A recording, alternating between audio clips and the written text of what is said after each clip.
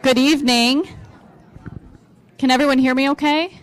We'll do another test when uh, Mr. Cowan gets up because he has a different kind of microphone. Welcome to the Hudson Library and Historical Society. We're pleased that you can join us this evening for this very special program. I just want to get a show of hands of how many people that this is their first time coming to the Hudson Library. Okay, just a few. And then, and welcome. And how many of you, ha- um, this is, that are, live in Hudson? Okay, and how many of you live outside of Hudson? Okay, but like two thirds or something from Hudson. Just a few things. Um, I just wanted to point out that in addition to wonderful programs like this, we also have a full slate of adult programs and children's programs and teen programs going on.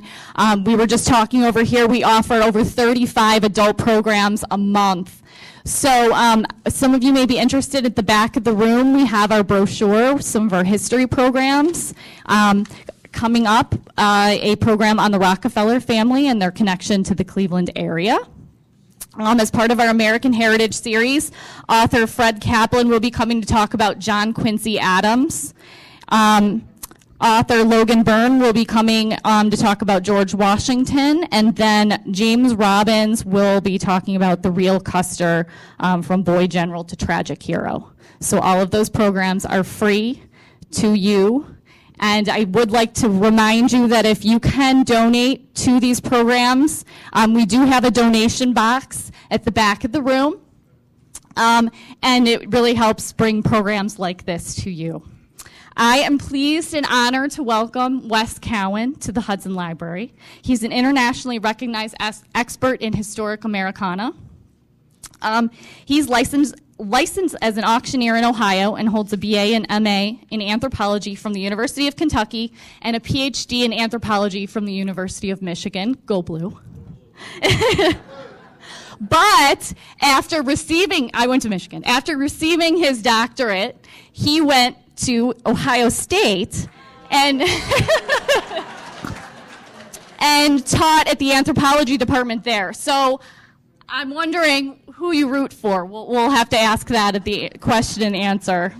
Um, in 1984, he moved to Cincinnati to assume the post of curator of archaeology at the Cincinnati Museum of Natural History. And in 1995, he la- left academia and the museum world to return to his childhood love of antiques. He's the founder and o- owner of Cowan's Auctions, Inc. in Cincinnati. And he most recently opened up an office in Cleveland in, on, in Warrensville Heights in June 2nd. So now you have two allegiances as well. You have the Cincinnati and the Cleveland. So I don't know. You're really all over with these sports teams here. Um, as long as you say you don't like the Steelers, we're okay. Um, Cowan stars in stars in the PBS television series History Detectives and the featured appraiser on the Antiques Roadshow. Please give a warm welcome to Mr. Wes Cowan.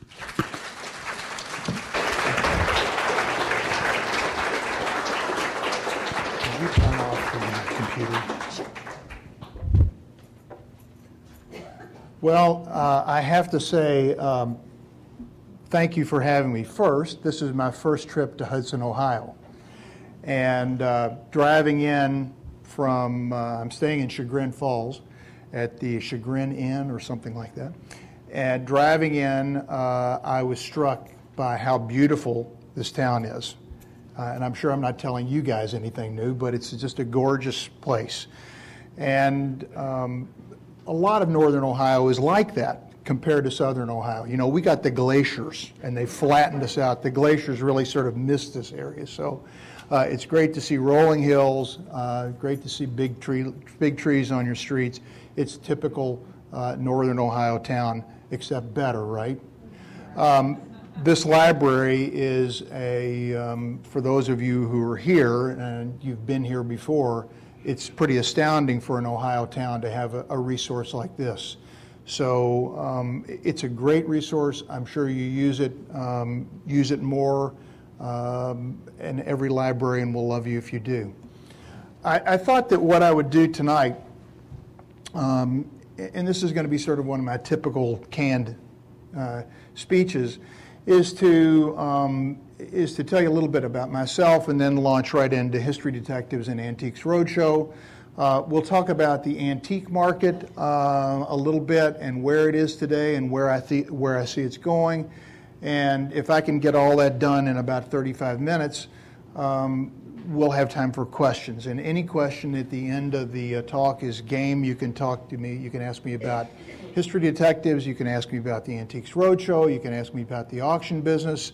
Um, our inaugural Cleveland auction, uh, in fact, is this Saturday. Uh, we're on Miles Road, right down from the Miles Farmer Mar- Farmers Market. I don't know if anybody knows where that is, but uh, in Warrensville Heights. So, um, hope to see some of you guys there. Um, you know, I, I, I think that um, if you'd asked me 25 years ago would I be doing what I do now, I'd say no. Um, I was an academic. Uh, I came into academia as a result of a childhood love of archaeology. Um, a neighbor of mine, when I was about nine years old, gave me an arrowhead. And uh, right then and there, I decided I was going to be an, an, uh, an archaeologist. Um, so I went to school uh, in high school and uh, was very interested, had a very indulging mother who would drive me around and before I got a driver's license to local archaeological sites and to the Louisville, uh, Kentucky Archaeological Society meetings.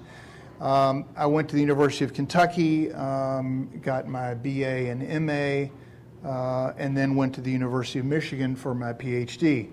Uh, I was one of those weird guys in uh, graduate school who had a subspecialty in anthropology uh, that was called paleoethnobotany. I was um, an anthropologist, an, an archaeologist, who was interested in the origins of food production. And I was specifically interested in the origins of food production in eastern North America. So um, that carried me through a number of years. Um, I did a lot of work uh, while I was at um, uh, Kentucky uh, in a part of eastern Kentucky called Red River Gorge, which is a um, uh, an area that uh, is on the western edge of the Cumberland Plateau that's just pocked with caves and uh, rock overhangs where things that were people camped thousands of years ago became preserved uh, because of the dry atmosphere of these caves and overhangs. And lo and behold, among those caves were lots of plant remains. That's how I got interested in the origins of agriculture. When I moved to Cincinnati, I became very interested in the transition from um, foraging and food and incipient horticulture to maize agriculture. So I did a lot of work on uh, maize agriculture in the Ohio Valley. How in the world did I get away from that? And I was at the museum for 11 years. Uh, that's a good question. Well, like, uh, who here has an advanced degree? I would bet that there are going to be a number of people here who do. Anybody here have a PhD? Couple people have a PhD. Was there a time when you were writing your master's thesis or your PhD when you said, I don't want to write my master's thesis or my PhD anymore and I want to go do something else? Well, when I was at Michigan writing my PhD, uh, that's exactly what happened to me. I got bored of writing my dissertation and I started going to antique shops uh, in southeastern Michigan. Uh, it's not that much of a stretch. Um, because I'd grown up in a house full of antiques. My mother was a collector. I used to go to auctions with her as a kid. Uh, I used to ride my bike bike to antique shops in Louisville, Kentucky, and this was before the Arrowhead. Um, so it was sort of, you know, I was getting back into that as a result of not writing my dissertation. Um, I discovered fairly quickly that I did a I didn't have any money to buy any antiques, but um, I was drawn to baskets of and boxes of old photographs that every antique dealer in the 1970s had in their shop. The antiques dealers didn't know what they were. You could buy them for 50 cents or a dollar. Uh, and I suddenly became uh, really, really fascinated in these old photographs, not of people necessarily, but street scenes of Hudson, Ohio, or Ann Arbor, Michigan, or uh, San Francisco, California, or a picture of a Civil War soldier or an American Indian. And um, I, I discovered pretty quickly that there were other people like me who were interested in these things, and uh, that in fact I could sell these things and make money. Uh, and I will never forget the day that I was in an antique shop in maybe Saline, Michigan, someplace like that, and I bought a photograph, uh, I, and there were a couple other guys in, the antique shop who were eyeing me, uh, and they saw me buy this photograph, and one guy walks out of the shop after I'd paid for it and said, could I see your picture? And I said, sure. And he said, I'll give you $50 for it. And I just paid a dollar for it. Now, when you're in graduate school, that's a pretty good hit, right? So before long, I was buying and selling photographs. By the time I moved to Columbus, God knows why I moved to Columbus, Ohio, but it was, the, it was a job. Um, by the time I moved to Columbus and was teaching at Ohio State, I had a pretty nice little sideline business of selling photographs. Um, I stayed in Columbus for three years before I moved to Cincinnati, uh, took the hobby with me, uh, developed the hobby, and um, about uh, 20 years ago, 22 years ago, I got a call one day from my sister-in-law, who's an attorney in Louisville, Kentucky, and said, "We have a problem at our firm." And I said, oh, "You know, what? What do you? What can I do for you?" And she said, "Well, we have an estate here in Louisville." That has a large collection of 19th century photography. We need to have it appraised, and you know something about 19th century photography, so you're it. So I appraised this collection of 19th century photography. Uh, at the end of the appraisal, the uh, head lawyer of the firm said, Well, thanks for the appraisal. Do you want to buy the collection?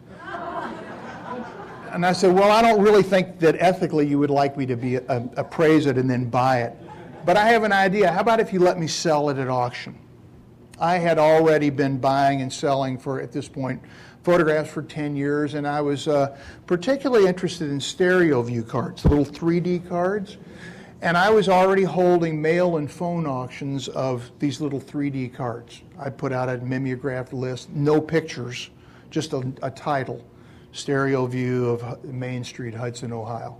Uh, and people would then submit bids to me. So to me, it was sort of a, a logical step. I liked the auction business, I liked photography, I had a collection, and I made a proposal to the uh, firm, and they said, There's only one heir, we're not talking about a lot of money, let me check it out. So they called the heir, she said, Sure, that's fine. The attorney said, When can you do this auction? I said, Well, there's only one problem I don't have an auctioneer's license. Gee, okay, how long is that going to take? Well, I think I can do it pretty quickly because I can apprentice with a licensed auctioneer. Six weeks or three months later, I had an auction uh, of this photography collection, and uh, I hit the, um, the uptick in uh, the beginning of the uptick in the collecting of 19th century photography precisely at the right time. So after that sale, which garnered a lot of publicity, uh, I would come home from work at the museum. Uh, there'd be five messages on my answering machine. When are you going to have your next auction? Because I have some things I want you to sell. Six months later, I had another auction, and then I'd come home from the work from work, and there'd be 15 calls on my answering machine. And I said, you know, I feel like I've been an archaeologist since I was in grade school, high school, all the way through college, and into 11 years as a museum curator, time to do something else. So I left the museum uh, in 94 uh, and founded the uh, company that I have today. I can remember how many people here um, ever had to call their parents and say, you know, either I lost my job or I'm leaving my job. Uh, and this is a job that I could have stayed at for the rest of my life at the Museum of Natural History there. I can remember calling my mother and saying, Mom, and by the way, I have two children at this point. Uh, Mom, I'm leaving my job at the Museum of Natural History to become an auctioneer. and God bless her, she's, you know what she said? She said, Well, it's about time. So I left the job, I launched my career, and I never looked back. Uh, along the way, my business grew very organically. Um, I sold historical photography and manuscripts and books and maps and anything that had to do with American history for about five years. And then I got a call from um, the estate of the um, former curator of decorative arts at the Cincinnati Art Museum. Do you sell Oriental art? Do you sell paintings? Do you sell furniture? Well, not really, I was thinking, but I'll come out and take a look. So I went and looked at this estate. It was a fabulous estate, and I said, sure, I'll sell this stuff. Hired somebody who knew more than me about this kind of material, and away we went, selling furniture, paintings, decorative art, silver, da da da da da. About uh, a year and a half later, the Western Reserve Historical Society in Cleveland, Ohio, uh, which at the time was going through a major period of deaccessioning things that really didn't have anything to do with Cleveland or the Western Reserve. They said, you know, we've got these literally closets of American Indian artifacts, and we're going to send them all to Christie's to sell. I said, well, why would you do that? I have a PhD in anthropology. I know all about that stuff, sort of. Um, made a proposal, had an American Indian art auction. It brought almost a million dollars people came in from all over the country. Uh, all the Midwestern collectors and dealers were saying, gee, you know, we don't have anybody in the Midwest selling American Indian art. Why don't you sell American Indian art? Okay, great. I just almost had a million dollar auction. How hard can, how hard can this be? So we added an American Indian art department. Uh, a few years later, uh, a gun shop closed. Uh, do you want to sell guns? Sure, I can sell guns. We sold guns. So now we have a firearms department. About five years ago, um, we were uh, having a, a, sale of decorative arts, and uh, I noticed that we were selling a, a, a, a, large collection of ivory carvings from an insurance company in Tulsa, Oklahoma. And um, we'll get back to this, but all of a sudden I was noticing that these things that we were estimating for a few hundred dollars, these ivory figures were selling for 5000 $10,000, $20,000. Gee, we're going to have an Asian art auction the next auction we're going to have. So at this point, we're a full service auction house that sells just about anything, but we specialize still in American history, antique and historic militaria, American Indian art, Asian art. Um, we also sell studio ceramics and modern art. And we do about almost $20 million worth of business a year. I have a staff of about 35 people, uh, each, all these specialists um, um, that are in various, these various departments. Why did I, why did I, would I want to open a place up in Cleveland? Great. Cleveland is a great place. We've gotten so much business from Cleveland just organically over the past 15 or 20 years it seemed to me that was a good time to open a place in Cleveland. So we opened a place in Cleveland, and we're doing very well and look forward to being here for a long, long time. Um, how did this all get me involved with History Detectives and with the Antiques Roadshow? Antiques Roadshow, easy. Um, not long after I started my business, I saw an a story in the Cincinnati Enquirer that said there's this new show that's going to be coming to Cincinnati uh, at the convention center called the Antiques Roadshow. Wow, they're going to you know be appraising antiques and people are going to bring in their things and I thought there might be an opportunity here for a local appraiser. So I got on the phone, called the producer at WGBH in Boston, uh, who produces the Antiques Roadshow, and said, Look, I'm a local person. I can do this, this, and this. Um, do you need an appraiser? The producer at the time said, Come on down, we'll give you a, a lanyard with your name on it, and we'll put you at the books and manuscripts table, and you're in. So that was the second season of the Antiques Roadshow. Um, that was at a time when about maybe five or six hundred people would show up at an Antiques Roadshow for an event. So uh, after that so I've been with the Antiques Roadshow just fortuitously because I called and thought it might be a good idea for uh, 17 of the 18 years that it's been on the on show on the air. Antiques Roadshow, I'm sure, led directly to my involvement with History Detectives. Um, I'd been on the Antiques Roadshow for seven or eight years. Um, I was came into work one day, typed, you know, look at my email inbox, and there's this in, there's this message, and I'm sure everybody's gotten weird messages. I got this really weird message that's asked me, would I be interested in being the presenter, not a host, a presenter of a new television show that was being produced. And I thought, sure, this is a joke. So I typed it back, said, yeah, call me this afternoon, let me know what's going on. So I got a call that afternoon from an English voice uh, on the phone, very this disembodied young English woman, uh, who told me about this show that uh, was going to be produced by, for PBS, and it was going to be called America's Addict, or America's Attic, excuse me. See, there you go. America's Attic. And uh, I said, okay, what's the premise? She said, well, can we send somebody down to film you uh, next week? I said, sure, come on down. So a 20 year old, another 20 year old English girl came down, filmed me in my warehouse. I was talking about a, you know, some antique. I can't even remember what it was. She left, and I didn't hear anything for about two months. I was driving to the Antiques Roadshow in Cleveland, the first time it was in Cleveland, when my phone rang, and yet a third English woman called me and said, We'd like to offer you the job of uh, being a presenter and I said, "What's a presenter?" She, "Oh, well, we call it a you, you call it a host here in England. We call it a presenter. We'd like to offer you this job." And I said, "Well, yeah, I don't really know anything about the show. Don't you think that you should tell me a little bit more about it?" She said, "Sure. Um, why don't you come to New York? Uh, the production office is in New York. Uh, when you get to LaGuardia, give me a call and I'll give you the address." So I get to New York. I'll never forget this call his phone number. The woman answers the phone, English woman answers the phone, and she says, You're going to have to come to my apartment. and she heard the pause in my voice, and she said, No, no, no, no, it's not like that at all. We, we just don't have the office set up. So I went to this office and uh, I went to the apartment. There were other people there and uh, found out about the show.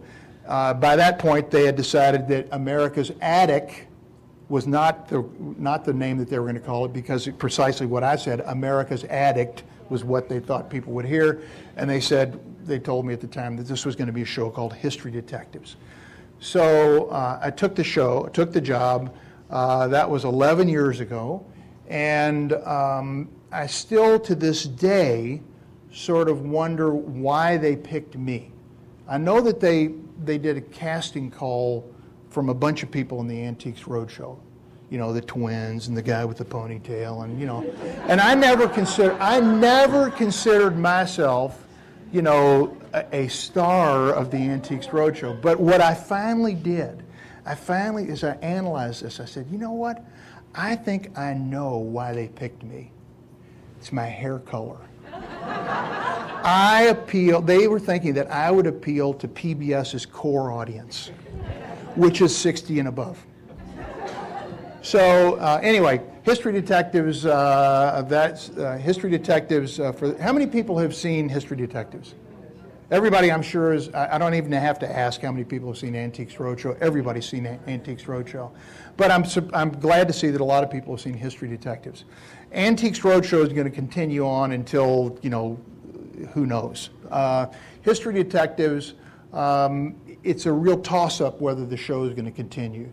For those of you who watched it this year, you saw four episodes all in July. As far as I know, uh, PBS has not made the decision to film any more history detectives. They changed the format. Um, they shook the program up. They got rid of some of the ho- excuse me some of the hosts.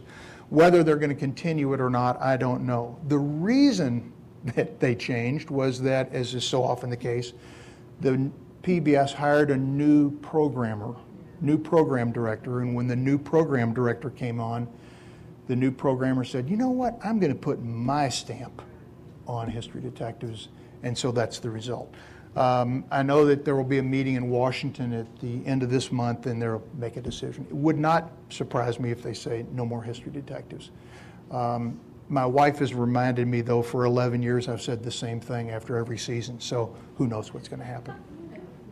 Um, you know, um, for those of you who watch Antiques Roadshow, you'll know that History Detectives is, is a very different sort of program.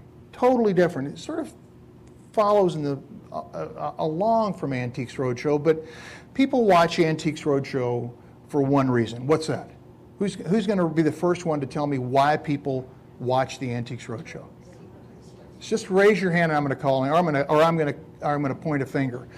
Why do people watch Antiques Roadshow? You in the, you in the shirt there, with the gray shirt on the aisle. Why do people watch Antiques Roadshow? They want to see prices. They want to see prices. They want to see, I mean, that's good. Most people there, you know, people, oh, they want to learn about antiques. They want to, they don't want to learn any of that. They want to see somebody strike it rich, right? That's the whole premise. And that's when you watch the Antiques Roadshow, all the segments that are picked. Have you ever noticed there nobody's ever on with a hundred dollar item or a fifty dollar item? It's like Aunt Minnie's Tiffany lamp that's worth a hundred thousand dollars. It's guaranteed to put the owner in tears, right? That's what people want to see. That's the formula that PBS, the producers, have hit on with the Antiques Roadshow. If I told you, though, that 99% of everything that we see there is worth less than $100, would you believe it? Because it is. There is no reward for me as an appraiser to pitch an interesting story of a $50 item because I know I'm not going to get taken. The way this works, how many people have actually participated in an Antiques Roadshow? A, fair number of people here. So you know when you when you go to the Antiques Roadshow with your thing, you go through a triage line where you open your bag up or your briefcase and somebody's looking at it and they're saying, Oh, you have a piece of glass, here's a ticket to the glass table. Oh, you've got a painting, here's a ticket to the painting table. Then a volunteer will lead you to a particular table where you'll stand in an interminable line. then you will uh, eventually get to the excuse me, to the head of the line, and there you're going to be facing a table with the appraiser, and the appraiser is going to look at your thing, and uh, they're going to tell you in about three minutes or less what it is.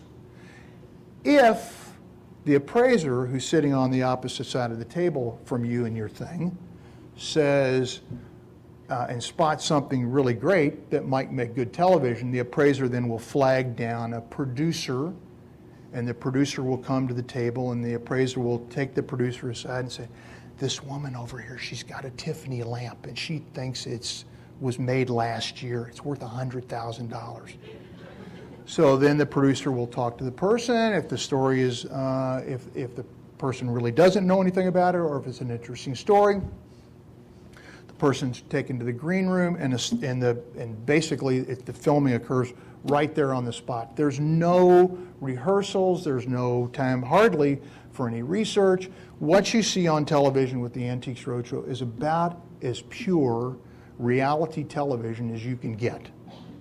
How many people watched uh, Pawn Stars, Storage Locker Wars, American Pickers?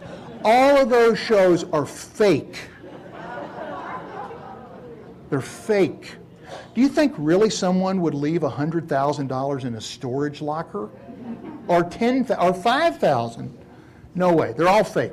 The Antiques Roadshow is not fake. It's all pure.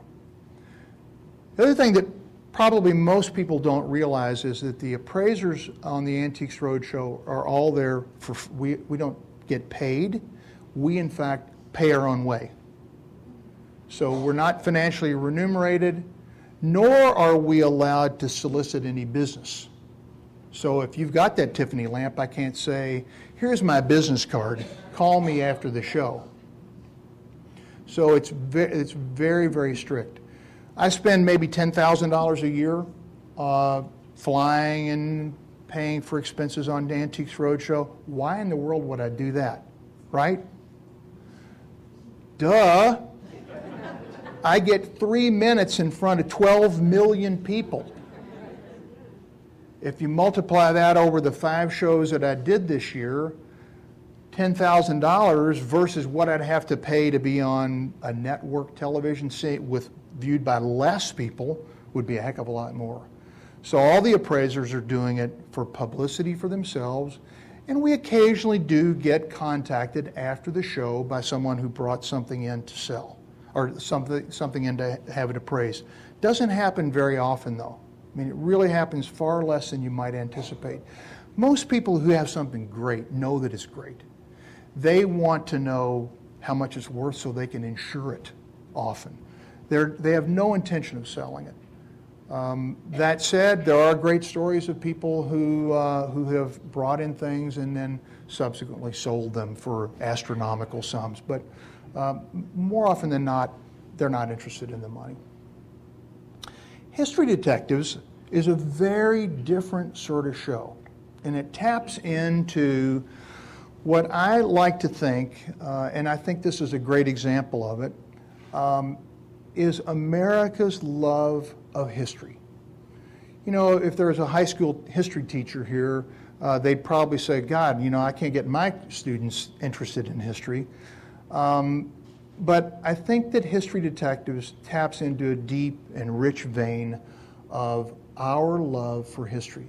It's not the kind of history, though, that we teach in high school or in our college survey courses. And that's the history that I call history with a big H. You know, the Pilgrim's Land, and then there's the French and Indian War, and the, so on to the Civil War, and then the next semester, Civil War through World War II. These big survey courses that cover American history with this with these broad brushes. History with a big H. That's what we're not interested in history with a big H. We're interested in something far different, and I think that that's called history with a little h. How many people here have something in their house that was handed down to them by a relative that has a story attached to it? How many people here would consider themselves curators because of that artifact? Well, you are curating that family story. You're curating an item that belonged to your family, and that artifact, more often than not, connects your family with some big story in the history of our country. You've got a Civil War sword. Uncle Joe, great great grandpa Joe, carried that in the 7th Ohio Cavalry. You've got a box of letters that your father wrote home from the World War II. You have a uh, ticket from the World's Fair in 1892. These, or you have a desk that was made right here in Hudson, Ohio by, you know, your great great grandfather who was a carpenter and, oh, and by the way, he also made coffins. Those are the stories that we all like because they, they, they connect our family with the past. And that's what history detectives initially tapped into because we focused on all these stories that were focused on objects that people had in their house. Oh, you know, uh, I always wanted to find out about this abolition banner that my uncle found in the trunk and we've had in our family for 60 years. Uh, I have these bullets that supposedly were removed from the bodies of Bonnie and Clyde. Uh, and these are all true history detectives' investigations. Um, but these are the kinds of things that all of us find interesting because we can put ourselves in that place. Not very many of us can put ourselves in the place of having a $100,000 Tiffany lamp. But if I did a story on the Civil War, how many people in this, for history detectives, how many people in this room had some ancestor who participated north or south in the Civil War? Just raise your hands. there you go. You're proving my point. These are all, that's why people liked history detectives, because they could identify with the stories. Because they had relatives that did the same thing. So when um, the uh, 100,000 or so fans of History Detectives found that on Facebook found out that History Detectives was changing the format, they didn't like it. And uh, for those of you who've watched the recent show who liked the old show, join the club. It's pretty overwhelming. I would say maybe 75, 60, 40. Most people like the old format. Why? Because they could identify with it, with the stories more, more uh, uh better. So uh, I've been very privileged to be associated with uh, history detectives, gotten to go places and do things that um, people have that I would never do otherwise. Uh, work on stories that are just uh, mind blowing. I don't know if anybody saw the story a couple years ago when we actually returned a North Vietnamese soldier's diary to his family in North Vietnam, where it had been retrieved by a uh, Marine uh, in 1967 from a, a dead North Vietnamese soldier. It haunted this guy for 50 years. He knew he shouldn't have taken this thing, and he, he was poisoned by Agent Orange. By the time we met him, he was dying. Uh, he wanted to get this diary back, and I'm getting goosebumps even talking about this. Remember when uh, our Secretary of Defense went over to North Vietnam and ex- got letters from uh, the North Vietnamese governor government from a um, from a U.S. POW?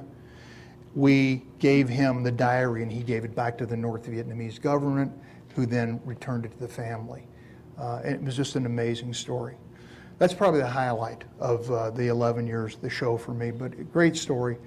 Um, but whether, whether it continues or not, I don't know. Can't tell you. Uh, I had a good run with it and um, happy that I was able to do it.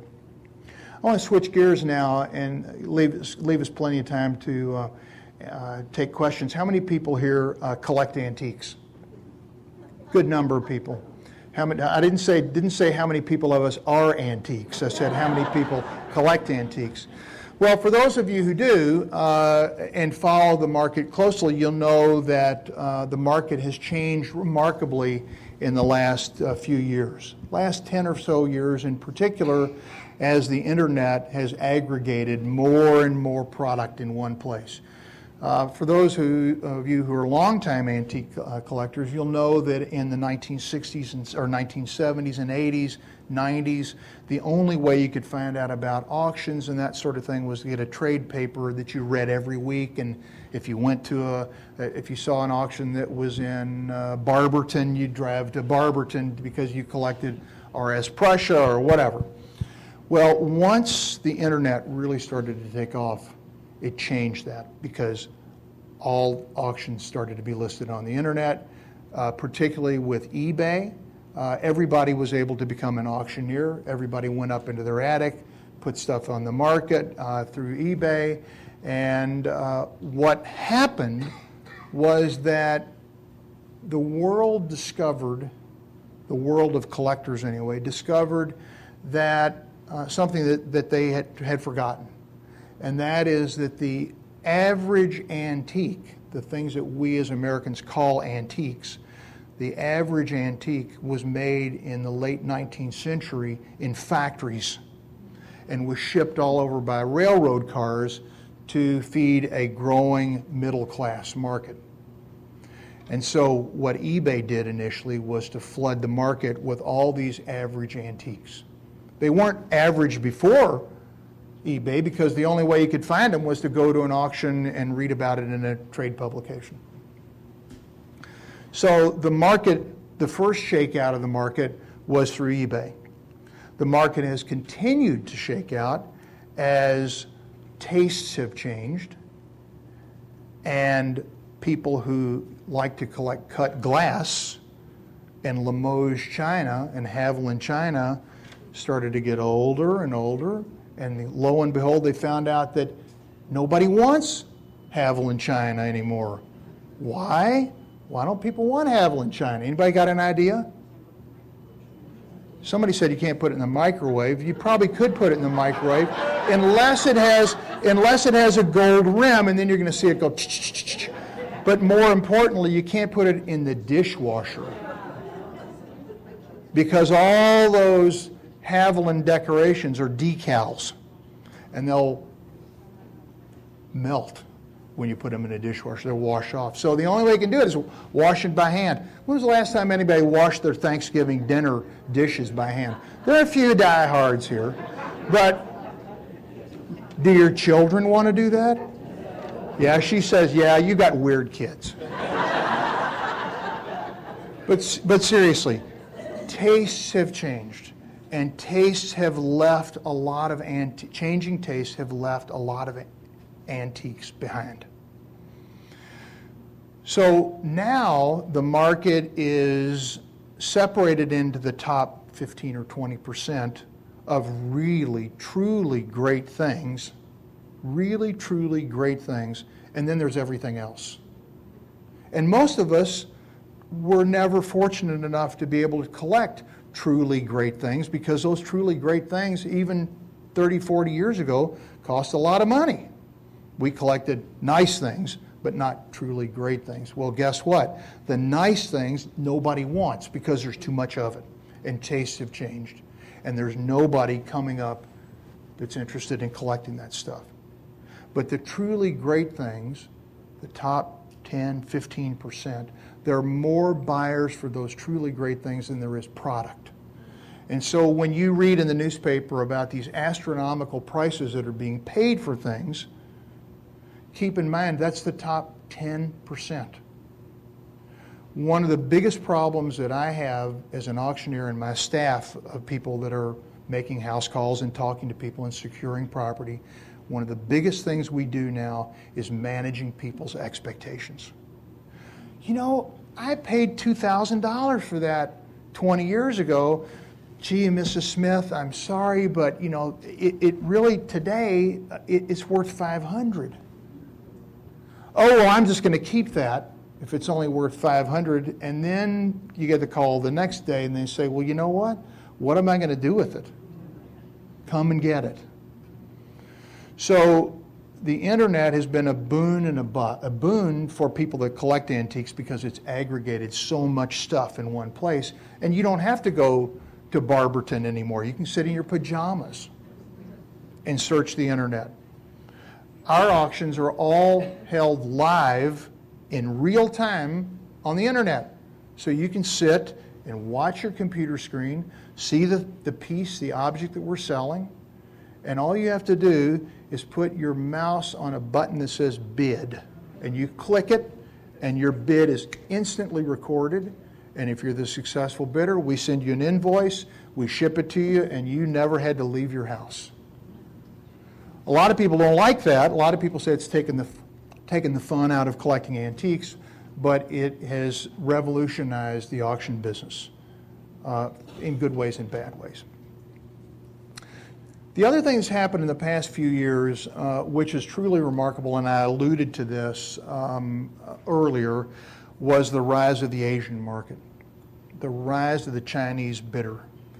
Um, seven, eight years ago, we used to get a few people from Asia who found our website um, and would submit bids with the aggregation of auctions on live bidding platforms, where you might have 100 auctions at once, um, Asian bidders suddenly found a way, uh, suddenly found a window open into the Asian art market in the U.S. that they had no idea existed.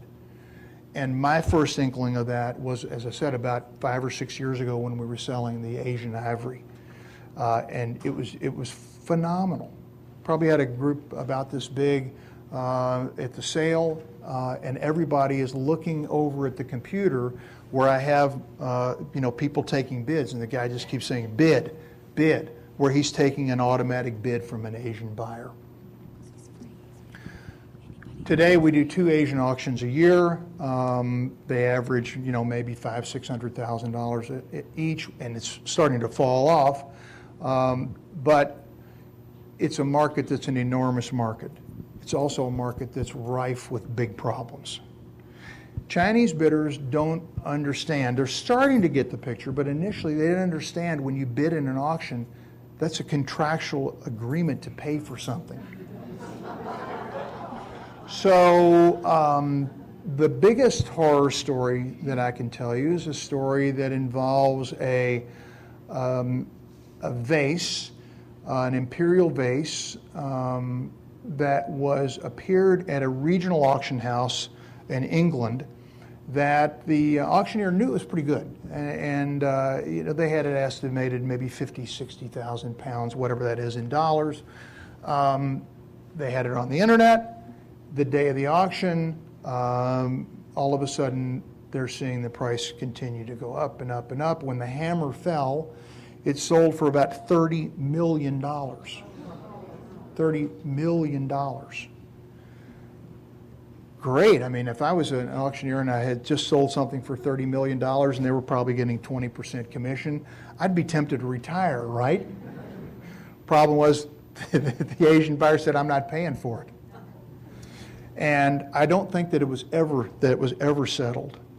Uh, we have, um, uh, have had the same problems. We have this problem in every sale we have between 10 to as high as 15 or 20 percent of all the transactions that are conducted with someone in mainland China never get completed. Never get completed. So we're very careful to tell our consignors to the sale, you know, people who say, would you like to sell my jade, my uh, Ming vase, whatever, we'd love to, but you should know that there's a problem. And there are no collection agencies in Beijing. Uh, there's very little that we can do. We asked for national identity cards uh, for a long time, and uh, the Asian bidders figured out a way to get around the national identity card. It's a problem that every auction house, including Sotheby's, Christie's, any big auction house will tell you it's an issue. But what has happened with the Asian market, Asian market has started to cool off. Um, the Asian buyers initially were buying anything. They, they just couldn't believe that all this stuff was out there. They become much more sophisticated, and the wheat is starting to separate out from the, from the chaff in terms of the kinds of product that's being offered by auction houses, and the bidders are becoming more sophisticated. So they're, they're, they're, they recognize more and more that, you know what, you, we, we, if we're buying this, we have to pay for it. So um, with that, I know that I've talked at least 35 or 40 minutes, probably longer than that. Uh, I want to stop and uh, open the floor up for questions. Any questions, Antiques Roadshow, History Detectives, uh, the auction business, the art world, whatever you want to do. Uh, I saw him first. On, uh, on the uh, Antiques Roadshow, an item gets to an appraiser.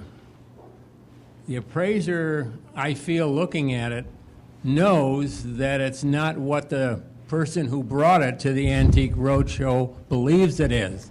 In fact, it may be a reproduction or an absolute fake, but they seem to be so skilled at letting that person down. Do you somehow train these sellers?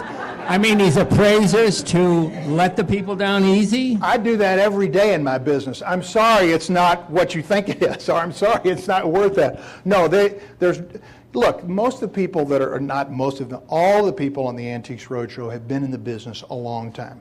All of them are at the top of their game. All of them have seen these, these issues before. Yeah, and you know, you, you, you obviously, you, the, one of the biggest problems that I have is dealing with somebody who says, This has been in our family for 150 years. It's my, this was my great grandmother's, you know, they brought it over on the Mayflower. and I remember, not that, not that crazy, but you know that it's that it's older than than than they they think it's older than you know it is. My favorite story with that was that the, somebody had a, a print, one, a yard long print. Anybody know what a yard long, you know, one of these long lithographs that typically would hang in somebody's kitchen, you know, fruit or flowers. So these people, brought, this whole family came up and says, this was, you know, been in our family for 200 years.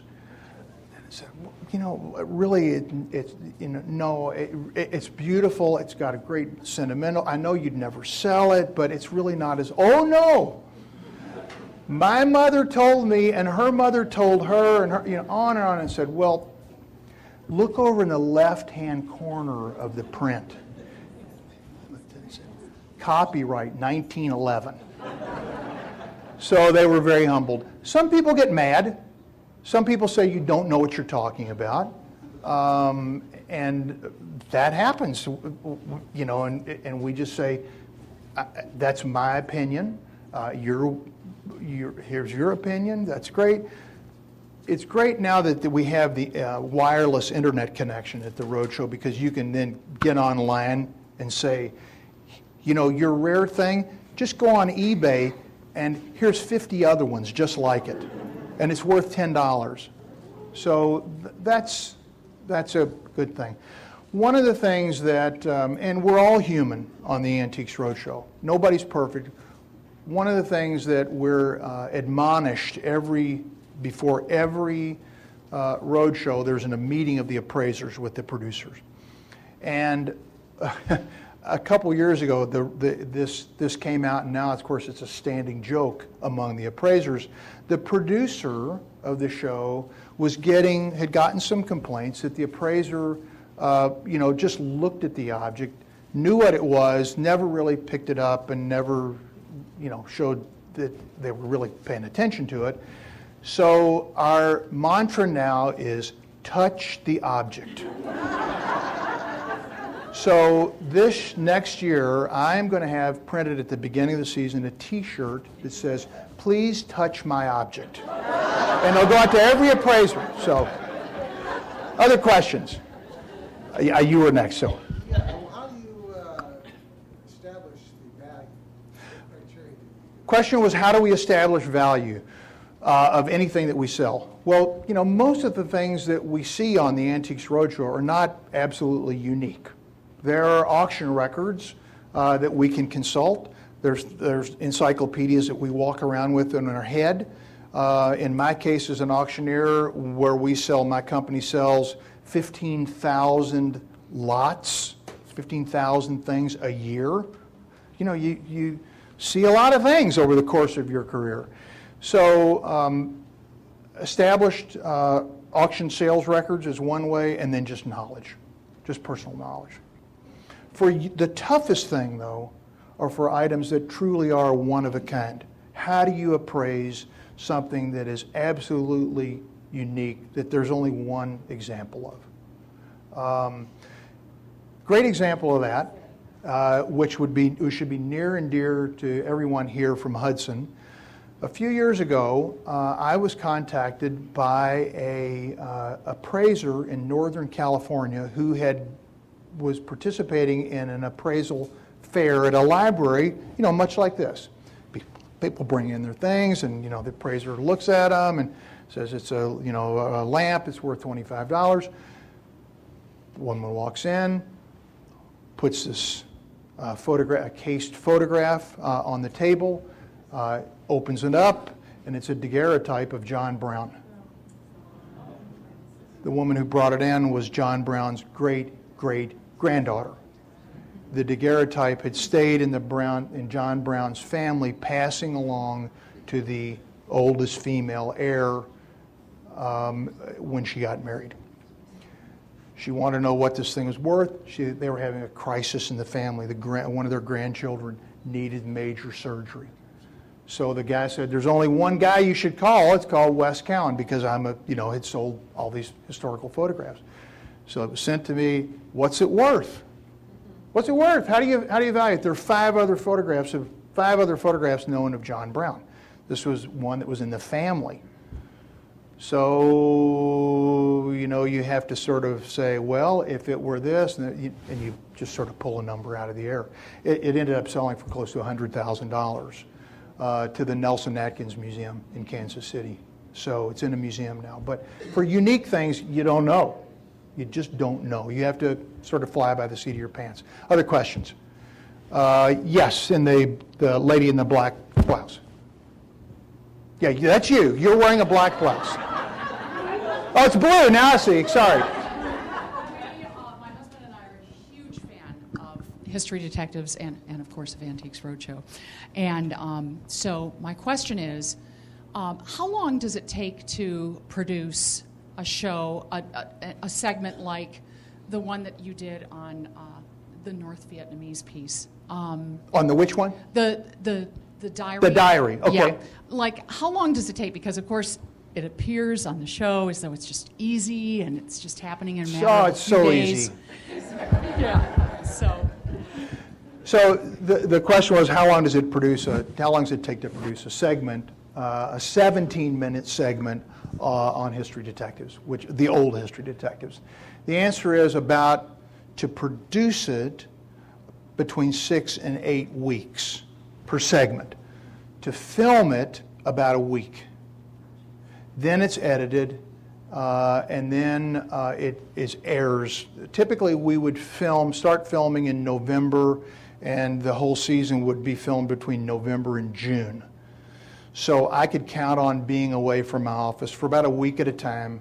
Uh, and I will tell you that, uh, and I, I, if there are people that would be disappointed by this, so be it. I do not do any, zero of the research for history detectives. I wouldn't know, you know what, from Shinola before I get a script. Look, here's this person, terribly disappointed. I'm sorry, I told you.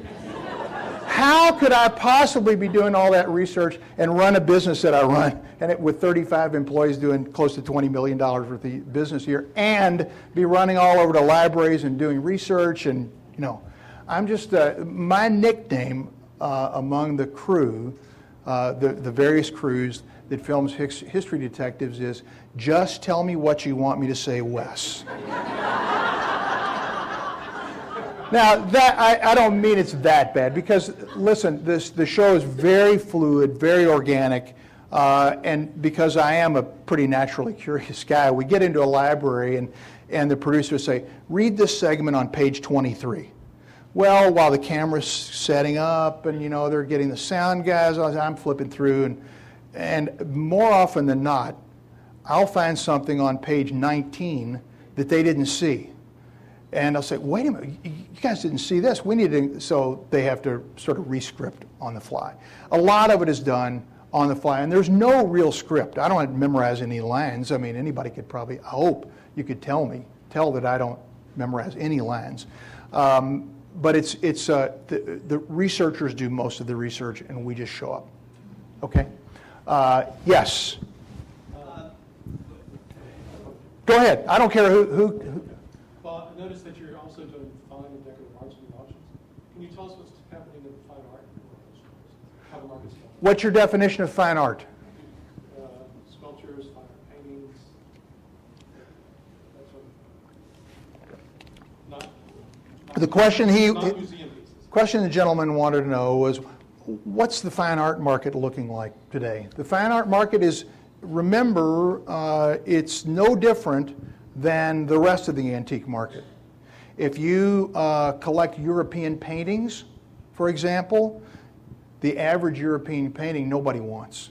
19th century Victorian European Scottish painting of, you know, sheep or, sheep or uh, steers on a loch, who cares? if it's the best one that, if it's the best Scottish artist, then they, they sell well. Uh, American paintings the same way. American regional paintings have fallen off dramatically um, from the, particularly the Victorian era. 20th century, different story.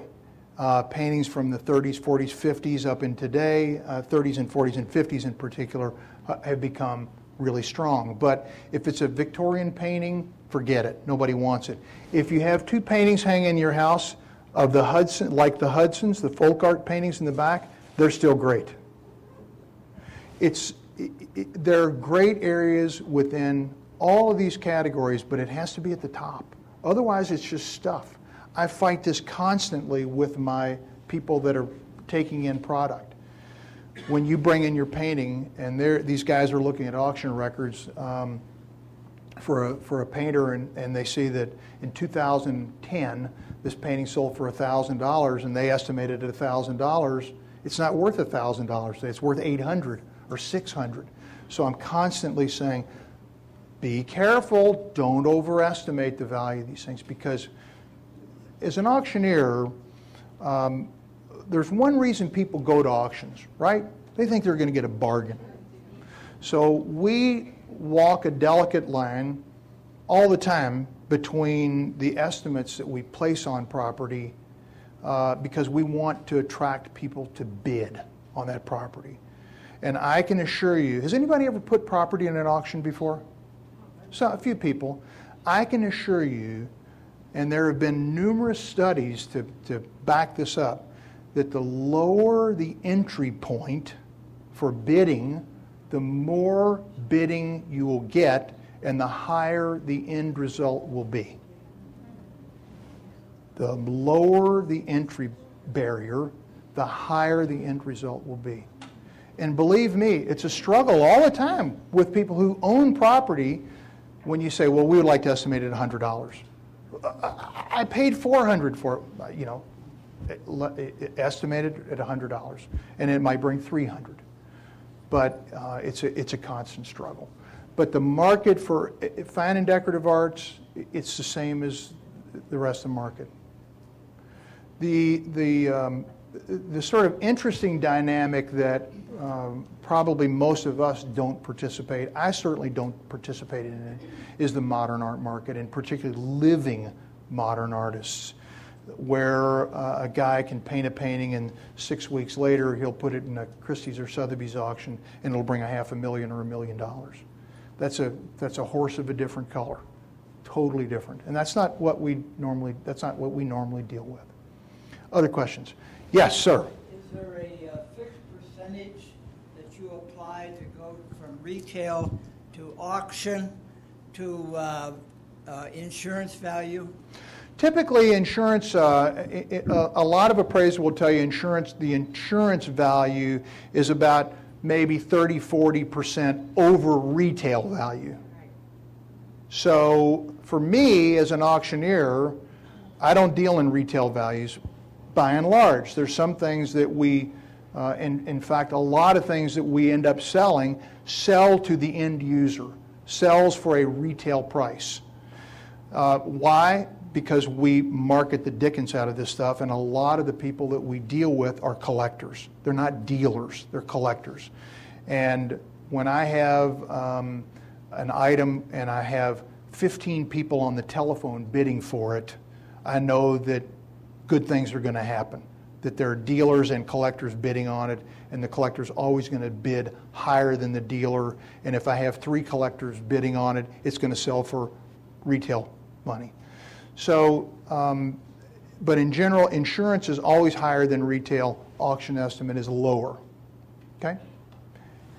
Uh, let me get somebody in the back of the room. Yes, in the way in the back row. Do I have a holy grail? Yes, I do have a holy grail. And I actually talked about this on the Antiques Roadshow about, I don't know, 10 years ago. Um, during the California Gold Rush, there was a, a San Francisco daguerreotypist who went into the gold fields and made about 200 daguerreotypes of gold mines and miners and mining camps. Uh, and these were, uh, for those of you who know what a daguerreotype is, um, the, uh, the standard daguerreotype plate size is about six by eight inches. Photographers then would cut the daguerreotype plate up to make smaller images. So there was a ninth plate, which would be a ninth of a six by eight plate, a sixth plate, which is the more common one, quarter plate, half plate, whole plate, which is the six by eight plate size. This daguerreotypist made about 200 whole plate daguerreotypes. That's the most expensive daguerreotype that you could find. Um, I sold one uh, a few years ago that was found in a, a historical society in Philadelphia, um, not from, from the same photographer, but not part of this series, of a San Francisco scene, and it sold for $100,000. So there are 200 of these that we know existed. He took them to New York, mounted them in these beautiful rosewood frames, had an exhibit, advertised this big exhibit. He thought he was going to make, you know, a lot of money because it was right during the California gold rush. He thought he'd get New Yorkers flocking to see scenes from the gold rush, and nobody came. Nobody came. He lost his shorts. The daguerreotypes then passed through a number of hands before they ended up with a photographer in St. Louis in the 1860s. That's the last that we know about this daguerreotype collection, which today would probably be worth 20 or 30 million dollars. So nobody knows where it is. It's probably um, probably long gone. But that's my holy grail. There's a trunk in St. Louis somewhere, in somebody's attic that has all, has all these things. Uh, and that would be my, my Chinese vase, except I'd get it paid for. Yes, in the blue shirt. Question, uh, I've seen so often that you- some, someone like yourself will say, well, this is a great, whatever you've got here, um, it's worth X. But if you uh, hadn't had it refinished, it would be worth fifty X. Sure. The twins are good at that on the road show.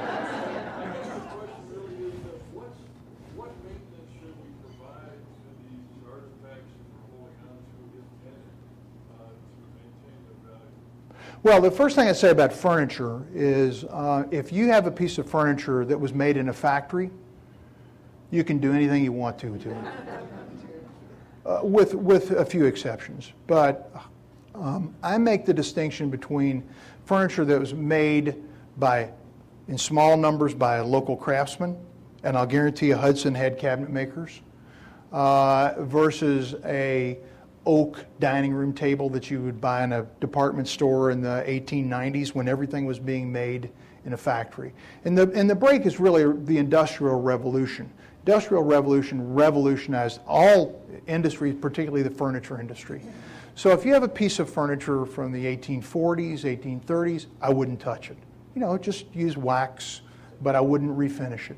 If you've got a, a dining room table that was painted white, that, or you want to paint it white, feel free. It was made after, you know, it was made during the Industrial Revolution because it's, it's unlikely that will ever increase significantly in value because there were too many of them made.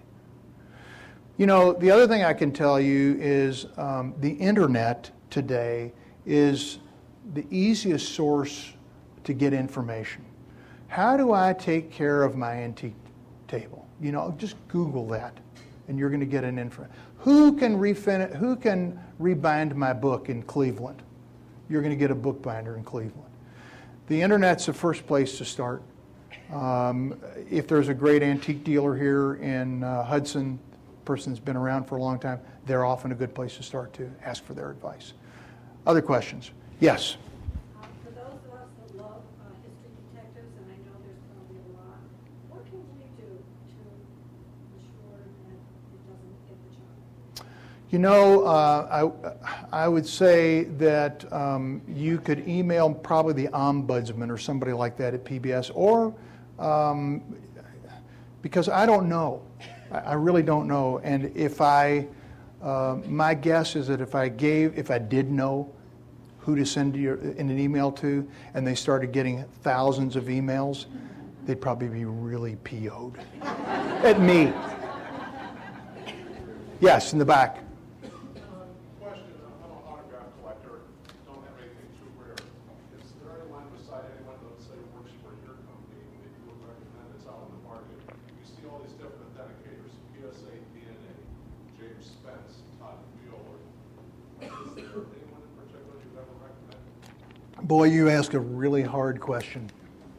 The question for those of you in the front who didn't hear was, you know, who's a good authenticator of autographs? Um? You know, the best way to start with autographs is to have a comparable. Is to have a, you know, I got an Abraham Lincoln signature, here's another one. Here and here's another one, and here's another one.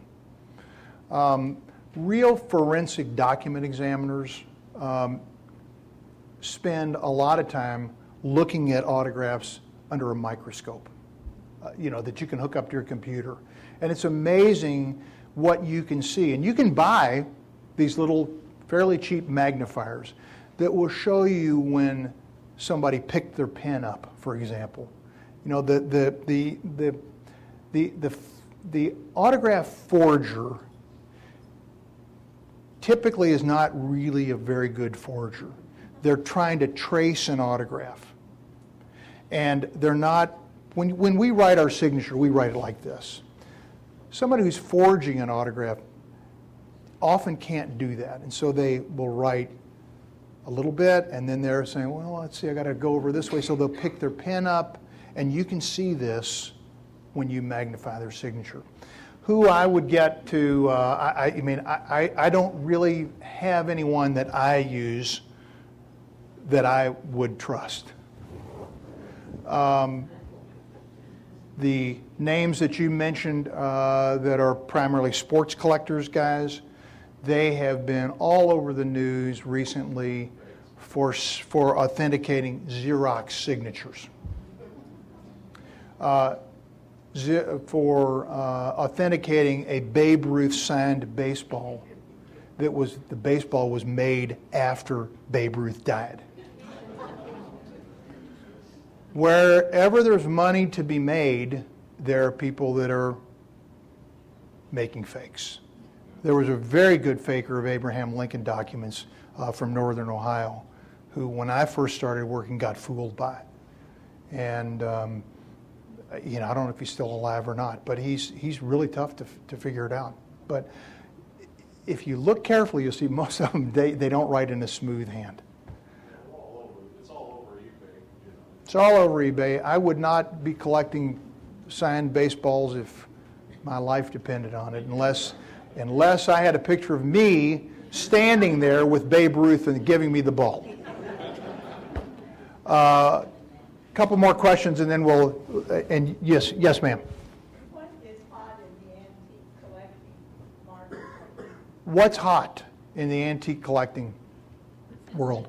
Well, um, how many people started their house, uh, their household, their lives, their married lives in the 1950s, 1960s?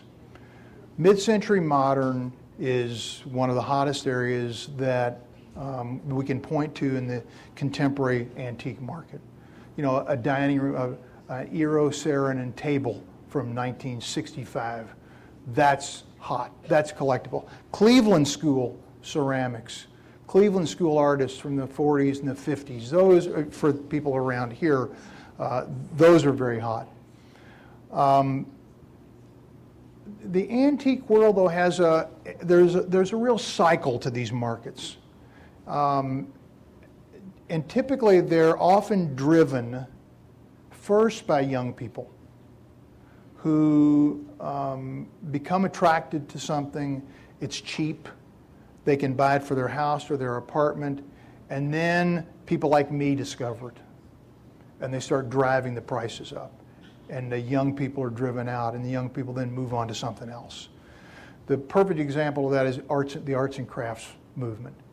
20 years ago, the arts and crafts movement was so red hot um, that you know you could put up a Gustav Stickley sideboard and it was going to bring $5,000, no matter what kind of Gus Stickley sideboard it is. That market has matured and it's really changed as people have become much more interested in modern furniture, mid-century modern, 60s, 50s, 60s, 70s, and that movement that it really stretches back into the 20s. But even that market, which was, again, um, was popular initially with people in their 20s and 30s, now it's become dominated by people in their 50s and 60s and have driven the price up for everything. So it, it, the antique world and collectible world is always cyclical cyclical, and we're we're in the middle of a modernism cycle right now. Whether uh, if anybody here collected uh, Hawkes uh, cut glass bowls, whether that market's going to ever come back or not, I don't know.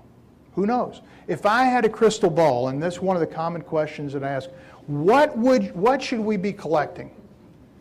God, if I knew that, I would be I wouldn't be here talking to you guys. I'd have I'd be filling my warehouse up with that stuff. But I don't know the answer to that. Last question, make it a good one. Yes. On the ancient market, when they don't pay for what they did, what is the process used? Do you put it up again for sale?